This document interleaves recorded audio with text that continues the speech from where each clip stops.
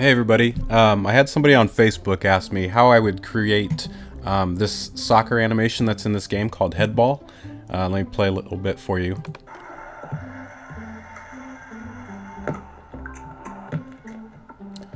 It's just an online game, um, or I think a mobile app that uh, you just have a little soccer match going on, or football game, sorry, Europeans. And he just wanted to know how I could use physics for the ball.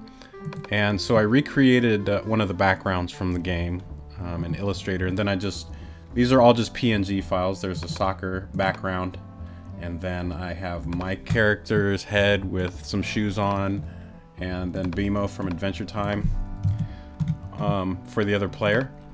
And I'm just going to show you how you can use physics inside of uh, Anime Studio or Moho.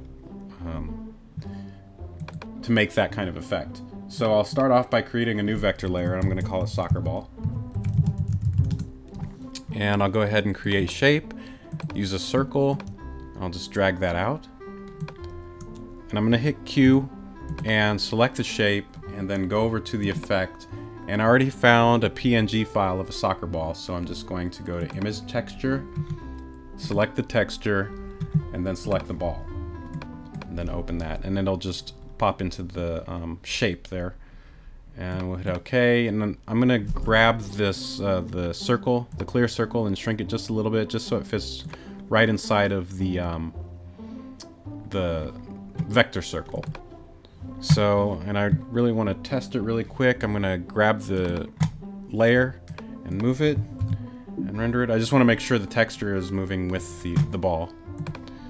So we have our ball now. We can resize it. It won't show up. Um, the texture won't show up until you uh, try and select the image with Q or um, when you're rendering. I'm just going to turn it white so we can see it right now. And then I need to create a physics group. So I'm going to go ahead and go to the layers and create a group. And we'll just call this physics. Group and I'm going to drag the soccer ball into it and just because I'm going to do some layering I'm going to put the background in there too. And I'll move uh, my characters up above the uh, folder with the physics. So we have the uh, background and the soccer ball and we'll double click the group itself and turn on physics. So click physics and enable physics and apply now, since there's a PNG file, image images by themselves won't be affected by physics. So if I go in the timeline, uh, the soccer ball will actually fall because it has physics applied to it. But you don't have to worry about the PNG file. But we do need to make a ground layer and something for the ball to react off of. So I'm going to create another layer and we'll just call this ground put it inside our physics group. And I'm going to put it underneath the soccer ball.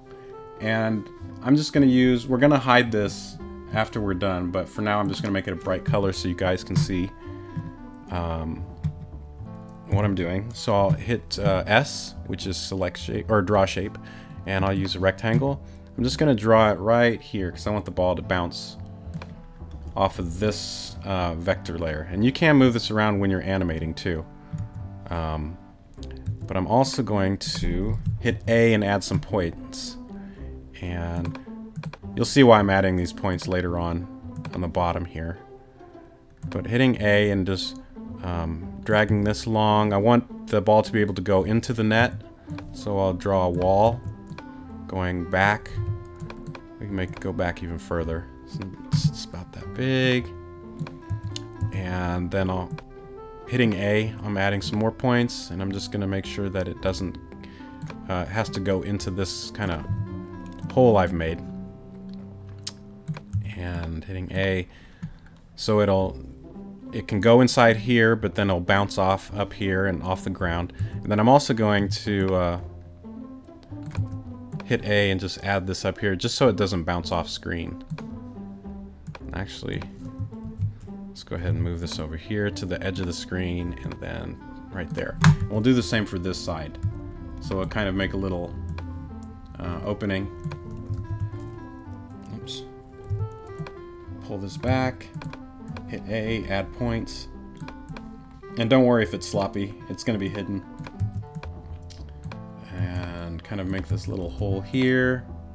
Put that on top of the net.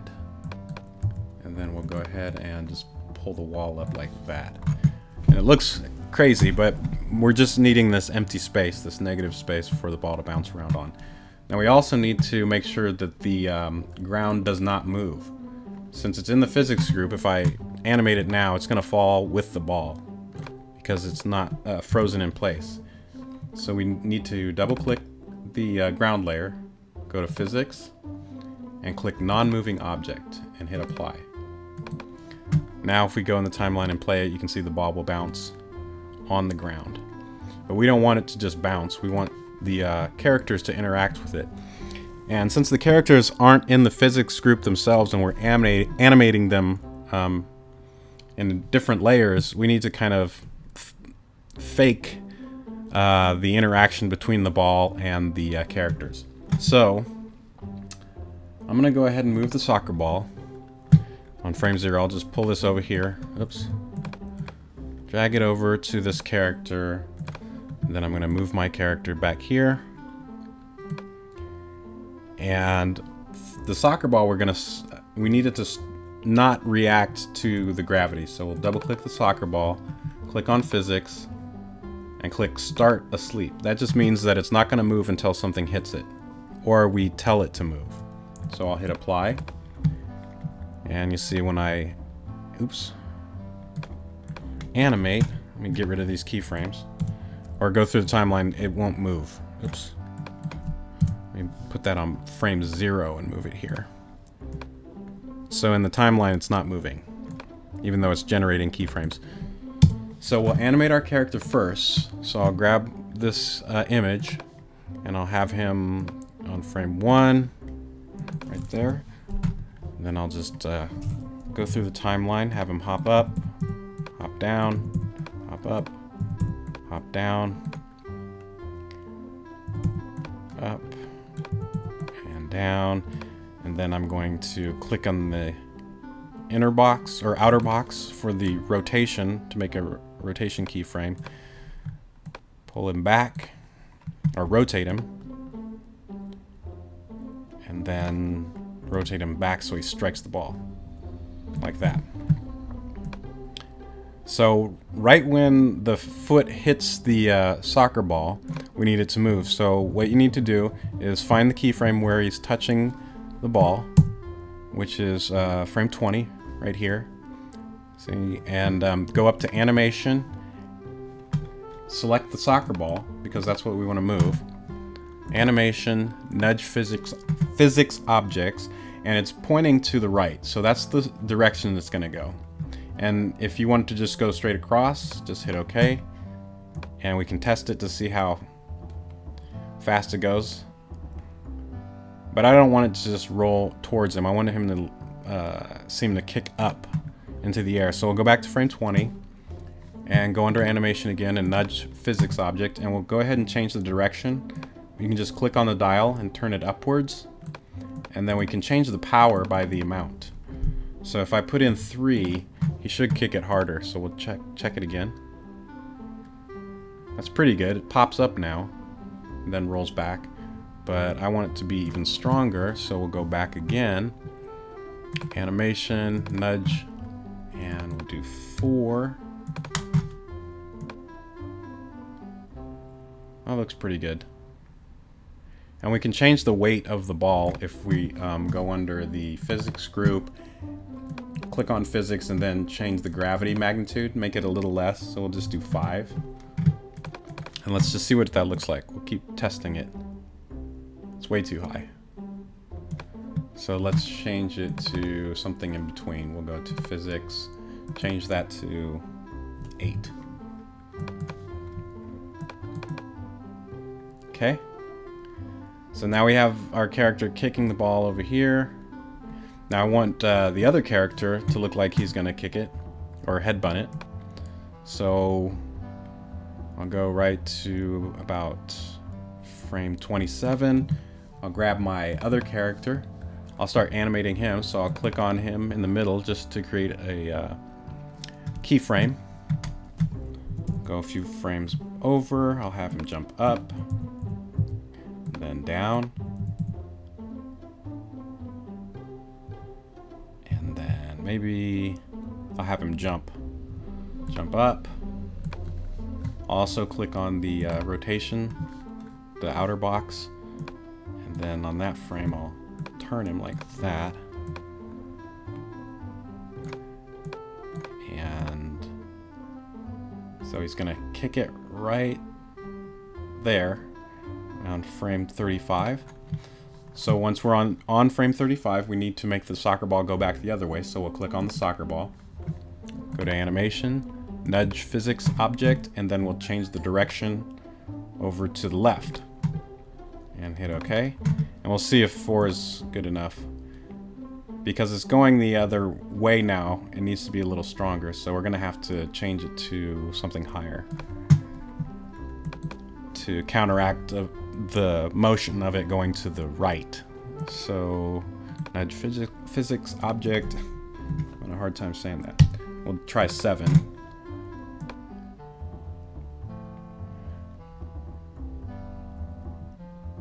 Okay. I, I, want it to go up a little bit more. So we'll go up. Whoa. Too high nudge and we'll turn that right there. That's good. And I'll have my character BMO land after he turns. And then he's to turn back and move down.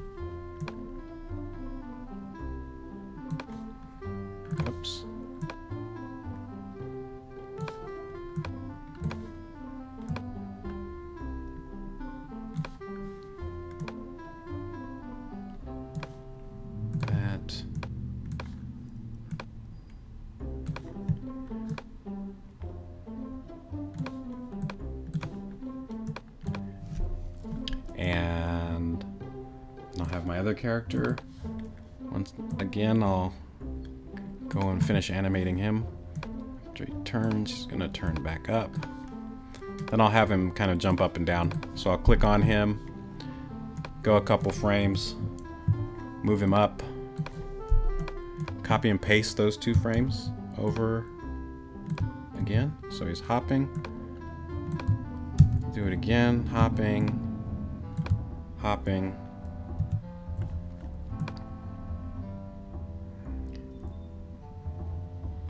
And I think I'm going to have him headbutt it, so I'll have him go from here to jump.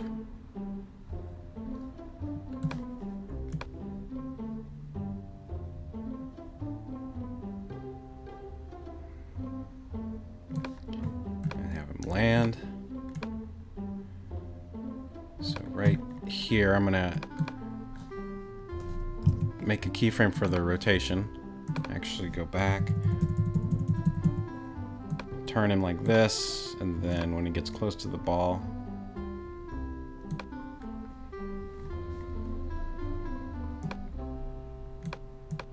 just moving some keyframes around so he can get closer. Right, right about there. Gonna have him rotate again.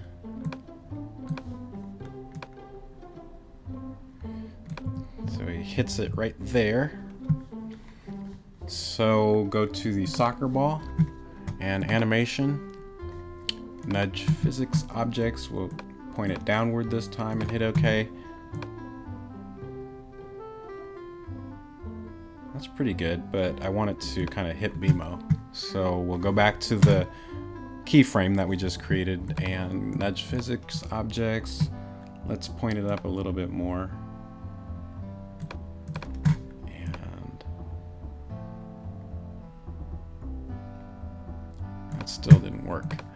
Nudge. Let's try that. It hits the ground, and we're going to have it hit BMO, so I have BMO jump around too. Select him. Have him jump up.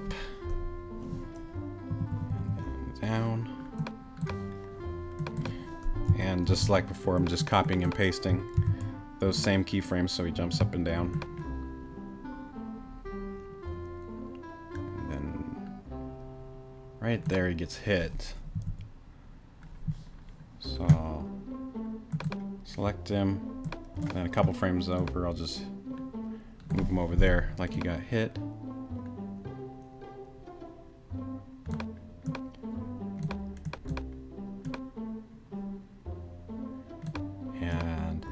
Go ahead and make him flip too. So click on his rotation, the outer box, go to the last keyframe and spin him once. Just like the throwing axe tutorial. Bam. But then all we have to do, since the ground and the, the background are in the, in the physics group, we'll just drag the soccer group above, or I mean the background above the ground, so it's hidden. Um, and then let's play the animation. Oops. Whoa, BMO did some crazy... What happened here? I accidentally, I don't know why his...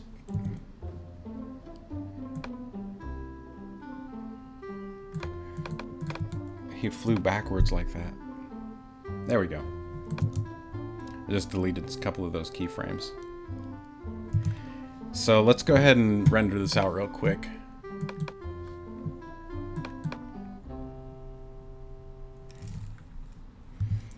And um, see the, what this looks like. And because, like I said, the um, soccer ball texture just doesn't show up, but you can see while it's rendering that it's actually there. Um, in the actual animation.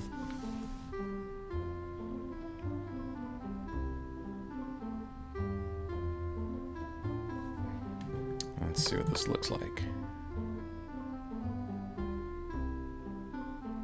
And there it is. Um, it's pretty simple to do. You have to have Anime Studio or Moho Pro um, to do this because you have to have physics and you have to use groups. So just remember when you're doing any type of physics, it needs to be in a group folder.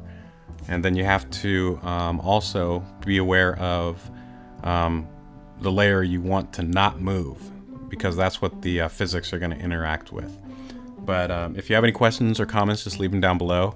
And uh, sorry I haven't been making um, as many videos as I normally do. I've been having a lot of problems with my uh, throat, so I love making videos. So um, yeah, there's still a lot more to come.